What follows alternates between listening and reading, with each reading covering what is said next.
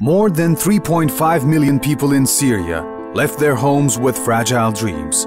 They had to take refuge in Turkey for a better life. They were not able to communicate with locals, and neither did they have the ability to express themselves. As a telecommunication flag bearer, we developed an application that helped the communication needs of the refugees. Refugees in Turkey connected with the Turkish people and connected to life through Turkcell.